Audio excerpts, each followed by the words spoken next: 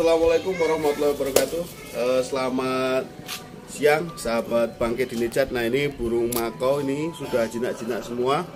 Ya, ini kita di Desa Wisata Kedu di Jawa Tengah, Kabupaten Temanggung. Ini kita ready ada burung makau warna blue and gold ya.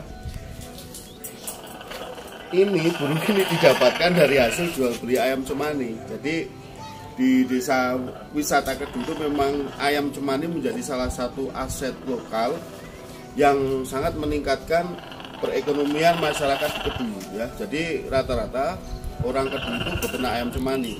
Nah, dari beternak ayam cemani itu mereka kemudian mengembangkan ke beberapa wilayah atau ini apa mengembangkan ke beberapa aspek bisnis lainnya seperti di burung salah satunya ini burung makau ya burung makau ini uh, di Cemani Beach Shop kawan-kawan. Kemudian selain dari Cemani ke burung makau ada juga yang dari Cemani ke beberapa ayam modern seperti ayam samo, ayam indio, ayam asel, kemudian juga ayam plaker dan lain semacamnya.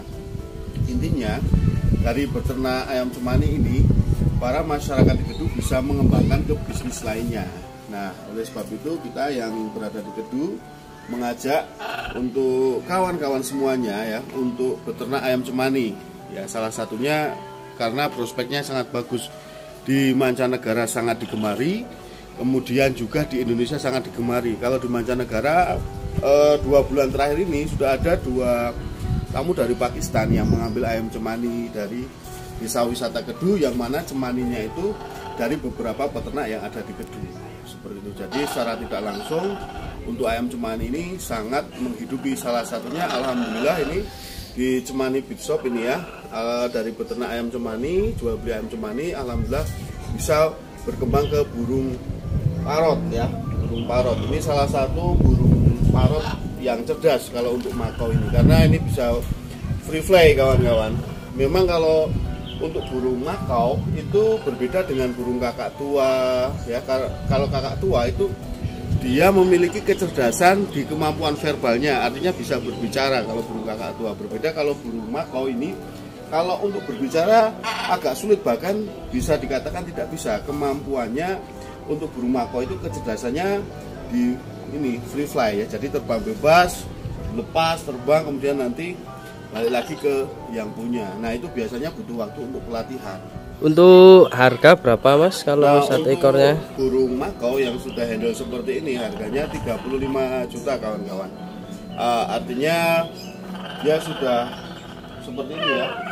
Uh, kalau untuk kemampuan free fly-nya belum, karena untuk free fly itu butuh pelatihan. Ya. Uh, jadi bagi kawan-kawan untuk burung makau ini masih bahan ya, bahan untuk kemudian dididik, disekolahkan biasanya uh, kemudian dilatih untuk free fly. Nah kalau ini yang udah jinak seperti ini, ini udah jinak yang sudah bisa di ini apa diletakkan di pinggir jalan seperti ini bisa dilihat lebih dekat. Nah ini. Nah untuk burung makau untuk mengetahui usianya itu biasanya dari pupil mata itu bisa dilihat itu pupil matanya yang besar itu biasanya masih muda. Kemudian kalau pupilnya kecil itu dia yang lebih tua usianya ini ini yang tua. Nah untuk biasanya dari jenis ini ya jenis uh, itu jantan atau betinanya itu nanti lihatnya pakai DNA tes DNA tapi kalau yang betina ini ini betina ini ini jinak ini betina. Uh, silakan nanti yang minat bisa langsung meluncur ke desa wisata Kedu atau Jabri di 085 225 Oke terima kasih. Assalamualaikum warahmatullahi wabarakatuh. Salam Merdesa Sejak dalam pikiran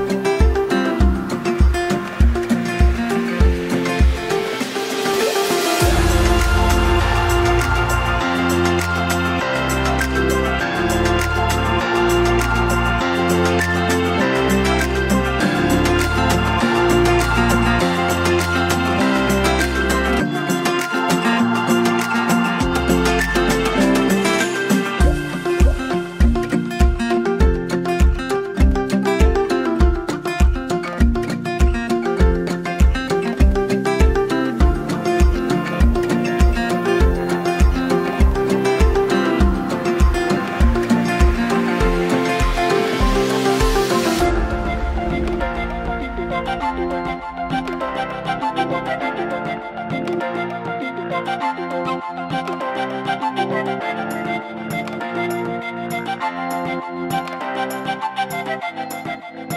you.